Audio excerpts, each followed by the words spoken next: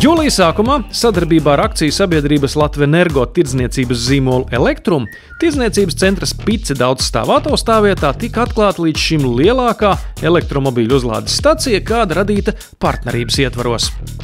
Stacijā, kas atšķirībā no citām atrodas sektā teritorijā, vienlaikus iespējams uzlādēt septiņus elektromobīļus. Turklāt divas no pieslēgvietām ir līdzstrāvas ar 25 kW jaudu. Piecu maņstrāvas pieslēgvietu jauda savukārt ir 22 kW. Vēl lielāks vienlaikus pieejama pieslēgvietu skaits pat labi ir tikai pie Latvijas energo galvenās ēkas Pūkveža briežielā. Taču tirdzniecības centru ikdienā apmeklē nesalīdzināmi vairāk cilvēku. Jā, nu mēs jau īstenībā gribam, lai cilvēki maina ieradumus. Mēs gribam, lai cilvēki kā, pāriet uz elektroautorātu, un eh, lai cilvēki to izdarītu, infrastruktūra ir svarīga. Cilvēkiem tas apziņā noteikti ir jā, jābūt, ka varēs auto uzlādēt, ka tā nav problēma. Un tas, man liekas, ir pusi no risinājuma, lai mēs ielās redzētu ar vien vairāk elektroautorātu. Atzinību par tik vērienīga elektromobilitātes infrastruktūras kompleksa izveidi izteica arī Latvijas ekonomikas ministrs Jānis Vitsenbergs.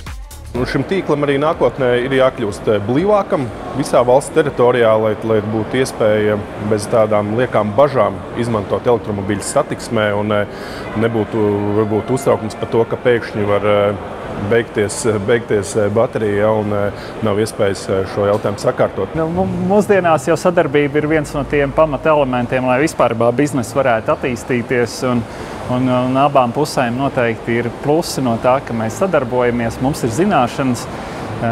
Spicai ir, ir viennozīmīgi svarīgi arī piesaistīt klientus un arī būt pārliecināti, ka klienti ir apmierināti ierodoties šeit, ka viņi var izdarīt vairākas lietas vienlaicīgi. Jaunā stacija atrodas gandrīz pie pašas ieejas lielveikalā, kas jau ir ērti.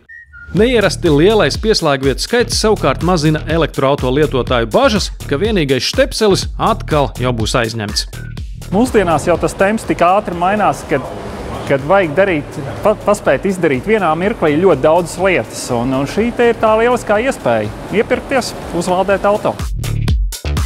Lai gan interese par elektroautorātu Latvijā aug, daudzus no iegādes attur augstāka cena.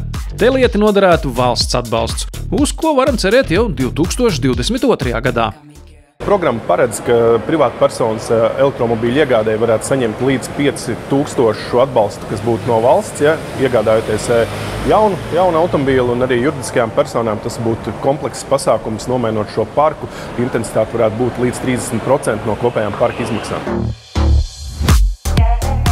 Lai izmantotu elektrumzīmolu uzlādes punktus, nepieciešams lejuplādēt aplikāciju. Atšķirībā no e-mobīļu uzlādes stacijām, kur jāmaksā par uzlādes laiku, šeit lietotājs maksā par kilovatstundām. Pagaidām apmeklētāji gan nav daudz, un vairumu pieslēgvietu izmanto koplietošanas tīkla fiksija spēkrati. Un tajā brīdī, tad, kad infrastruktūra būs pilnībā noslogota, mēs redzēsim, kad, kad mašīna stāv viena otrai blakus tad jau īstenībā mums tas bizness arī ļoti labi eh, izdosies. Kamēr, protams, stacija ir tukša, nav klienti, tā, tajā brīdī, protams, eh, protams, tā situācija nav tik labvēlīga mums, bet eh, mēs ticam, ka būs klienti un ar tādu domu arī veidojam infrastruktūru. Šobrīd elektrumtīklā klientiem ir pieejamas 44 uzlādes pieslēgvietas. Daļa no tām ir uzstādīta kopā ar sadarbības partneriem, kuriem, domājot par savu klientu ērtībām, pievienojas arī Tirzniecības centrs Spice. Turpinot attīstību līdz 2021. gada beigām gan Rīgā, gan reģiona centros, atklājot vairāk nekā 80 pieslēgu vietu, Elektrum kļūs par lielāko komerciālo elektroautorātu uzlādes tīklu Latvijā.